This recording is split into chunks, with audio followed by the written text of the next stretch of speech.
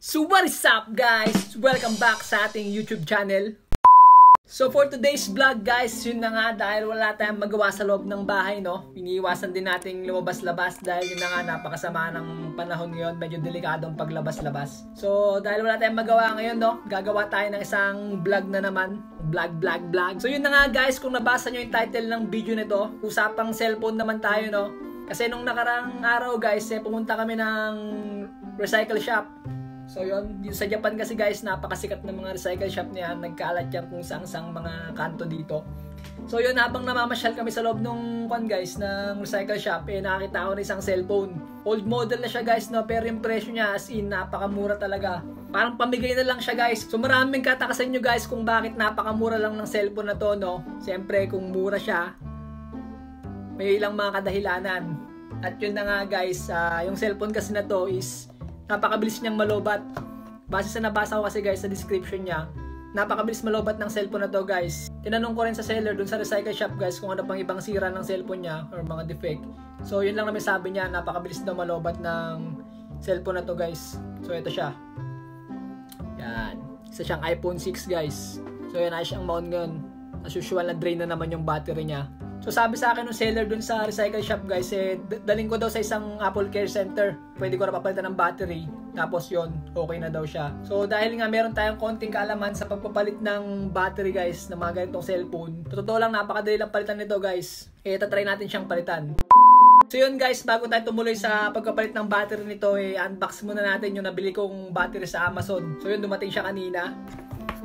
Ito siya. Siya guys. Pinaprime na natin para dumating agad.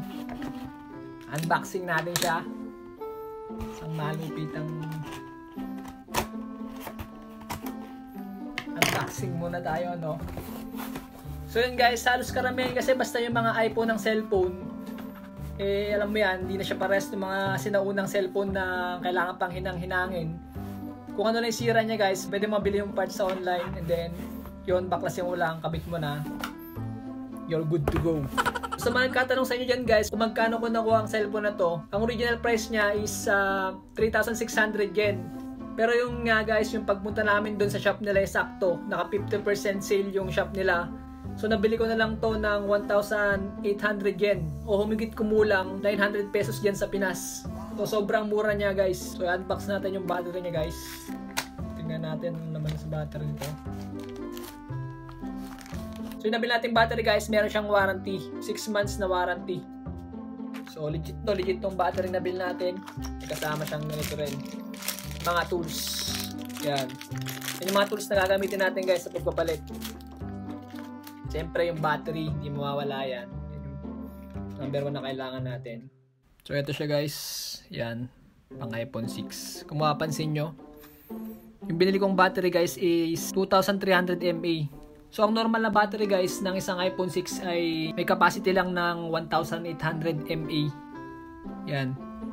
So, itong battery na to guys is meron siyang extra power. You know, may extra power siya. So, yan. Nalagyan niya guys. Ito sticker to ng battery sa likod niya para hindi siya gumagalaw-galaw. Yan, tools. So, yun guys, dahil uh, kompleto na yung mga kailangan natin. Yan, may mga tools na tayo. Meron tayong pangpalit na battery. So, simulan na natin to. Tingnan natin kung magiging successful ba tong battery transplant na gagawin natin.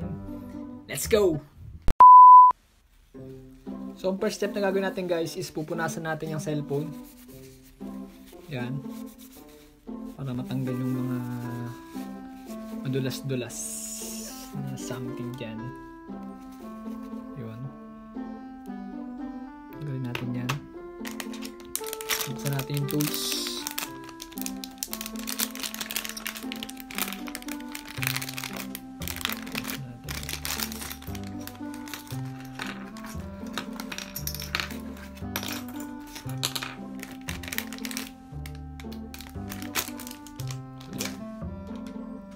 kailangan itong tools guys.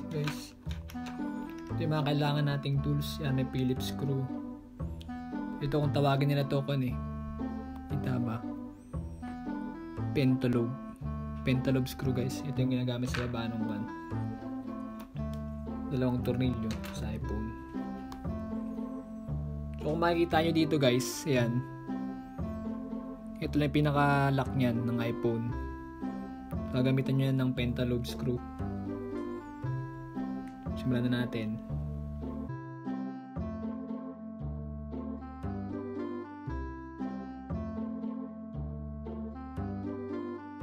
Pagkatanggal nyo na yung dalawang yan guys, talagay natin yung tinatawag nilang suction cup. Yan. Tindidikit mo dito.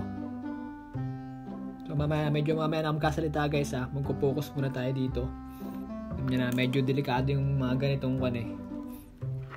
Kailangan na focus ka. Gagrab lang to siya guys. Tapos kunin mo to.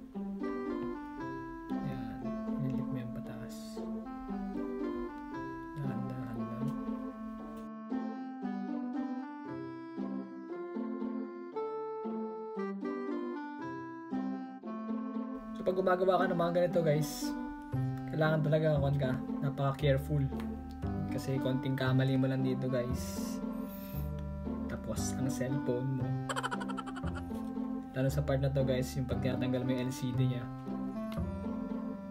Napaka-delikado. Kailangan talaga ng extra extra care.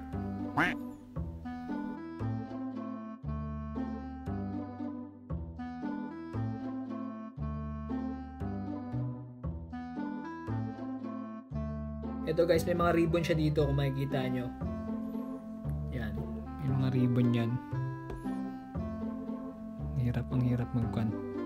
Tuturo ko na lang. Pag angat nyo ng screen na to guys, make sure na hindi siya abot hanggang dito. Hindi siya lagpas ng 90 degrees. Kasi pag nangyari yun guys, maaaring maputol dito yung ribbon niya. Masisira yung LCD nyo. Susunod na gagawin guys is luluwagan natin tong limang tornilyo dito para matanggal natin yung screen niya. Then open na tayo magtanggal ng battery.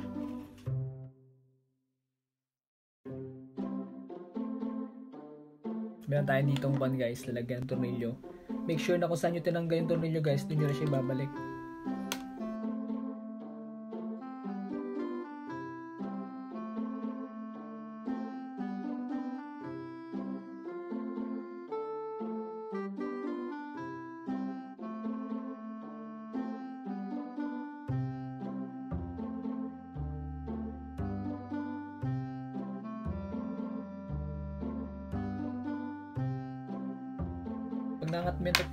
Yan guys,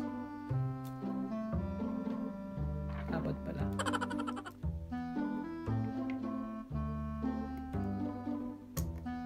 So ayun guys, tapos na natin tanggalin yung mga tornilyo dito. Nahiwalay na natin yung LCD niya. So ang next na gagawin natin, tatanggalin natin yan. Tapos, yun. Pwede na tanggalin yung battery. So tatabi muna natin tong one. Tatabi muna natin tong LCD niya.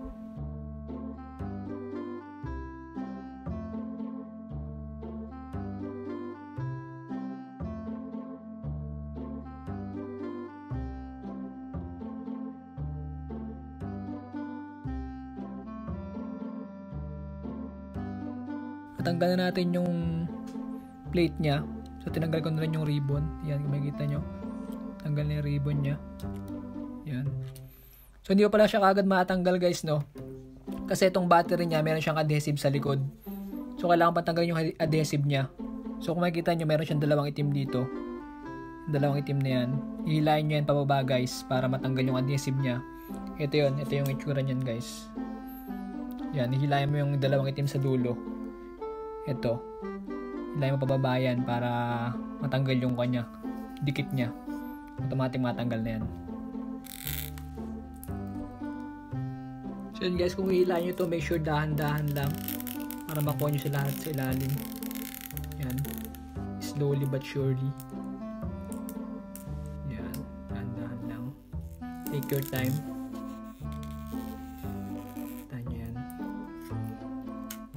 Parang sa pagmamahal lang yan guys. Hindi dapat minamadali. Dapat dahan-dahan lang.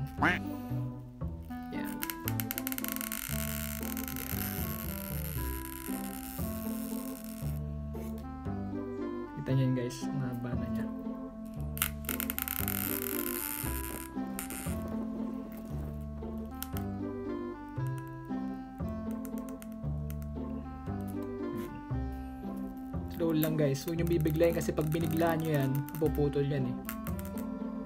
Yun o.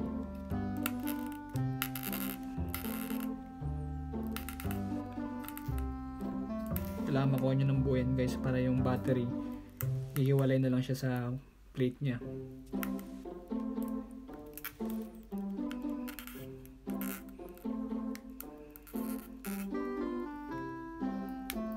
Ang ganda ng pagkatanggal natin guys. Aray, aray,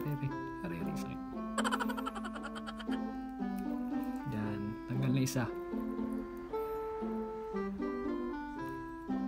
May isa pa guys. Ito.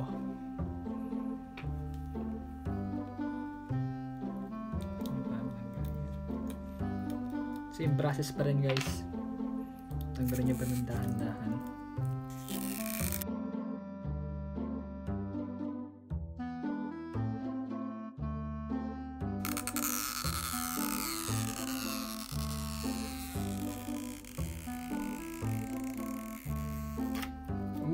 Kita nyo yun? Yung sinasabi ko sa inyo, pag natanggal mo siya ng maayos, yan, hihiwalay na siya. Kasi guys, ang tendency niyan, pag di mo tinanggal tong itong tape na to, may tendency na mabali itong battery na to guys. Medyo malambot kasi ito siya. Kaya kailangan tanggalin nyo muna to bago yung tanggalin yung battery niya. Kukunin natin yung bagong battery. Kung makikita nyo, pares na pares siya guys. Pero yung, yung nga sinabi ko nga kanina, yung power voltage niya, iba. Mas mataas yung capacity nitong binili nating bago guys, kumpara dito. Try na natin siya ikabit guys.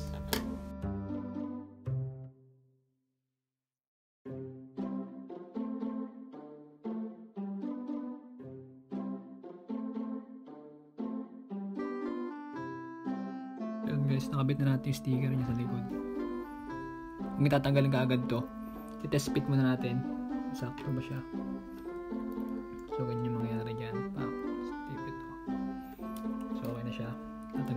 dalawang to.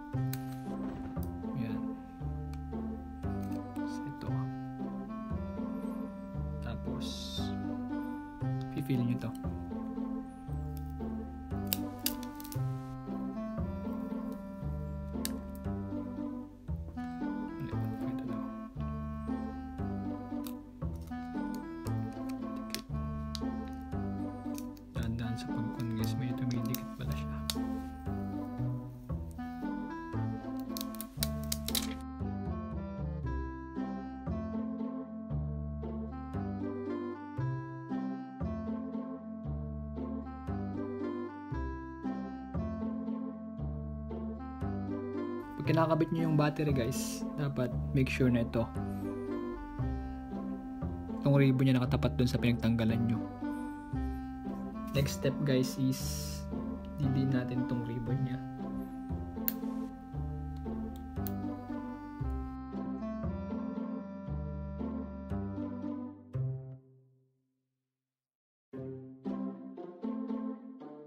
Pagkatapos nun guys, kung lang yon yung ginawa mo nung una, gagawin mo na ng pabaliktad. Lalagyan natin yung plate niya. So yun guys, tapos natin kabit yung battery. Tatry natin kung gumagana ba siya. So babalik natin yung LCD niya.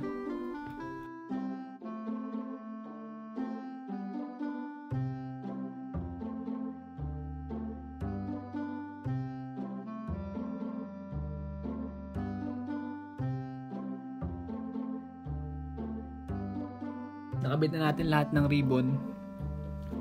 So next natin gagawin is i-on natin. Bago natin balik lahat ng parts niya, i-on muna natin, tingnan natin kung gumagana.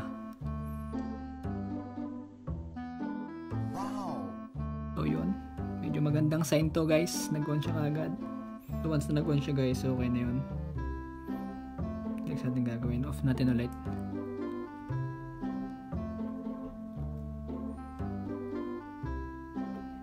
Ayan, once na okay yung screen niya guys, nag-on siya. Pwede natin balik lahat sa dati.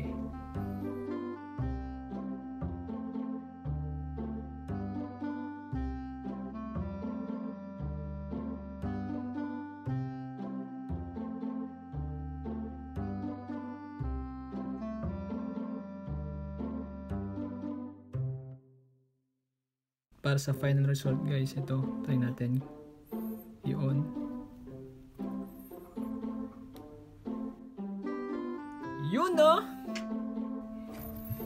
Yun, nag-on na siya guys. Huwag ka munang kampante kasi hindi pa sure. I-check pa natin yung LCD niyan. Baka may maling ribbon tayo nalagay no. So kung paano mag-check ng screen guys kung may sira. Ganito lang yan gagawin nyo. Grab lang kayo ng isang app. Apple Store yan. Pag grab nyo yan guys, ikot nyo lang yan sa buong screen. Hop na bitawan. Yan, ikot-ikot nyo lang yan sa banda. Kahit saan. Guys, so. So yun. Makikita nyo, pupunta siya sa lahat ng sa lahat ng part ng screen niya. Gumagana siya. So ibig sabihin, success! So yun guys, hanggang dito na lang ang vlog natin. All in all, success naman yung ginawa natin pagpapalit ng battery dito sa ating cellphone, no? So sa mga katanong sa inyo dyan kung magkano lahat ang nagastos ko dito, sa totoo lang, mas mahal pa yung binili kong battery kaysa dito sa cellphone. Kasi itong binili kong battery sa Amazon guys, is sumawot siya ng 2,000 yen or mga 1,000 pesos megit din sa Pinas. So all in all, ang nagastos ko lahat guys is mga 2,000 pesos. So yon 2,000 pesos lang guys, meron ka ng iPhone 6 dito sa Japan. That's it for this video guys. Thank you for watching at kung gusto nyo yung video na to, please like, share, comment, and subscribe. See you sa mga next vlog. Peace!